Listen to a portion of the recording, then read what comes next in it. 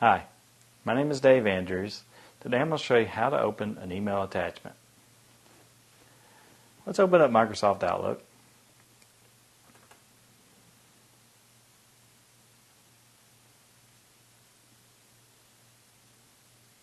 And as you can see, I have an email here that's titled Important Item Attached. I want to see what's attached to this email. So let's double click on it. And that opens up the reader screen that shows you everything about this email. Right here in sort of the middle area of the reader screen, directly below the subject, is a listing of the email and all of its attachments. To open up that attachment, which is important, let's just double click on it.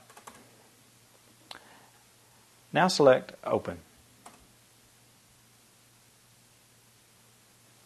This opens up the attachment, since it's a Word document, in the Word reader screen. So just say Open. And now we can see that this is the attachment that was sent to that email. If we want to get where we can edit it and respond in Word, just click Close up here at the top.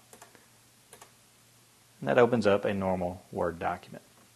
It's that easy to open attachments.